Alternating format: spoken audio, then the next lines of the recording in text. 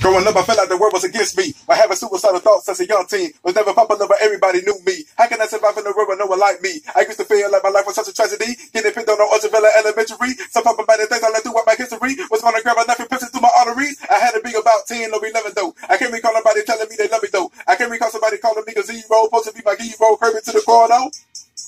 Hands spinning like a center fan. Never really thought that you would understand. Never spoken on the Mary Jane, living off the high like an airplane. Once upon a time, I never thought I'd make it out. Was rolling with the better kids and against the clout.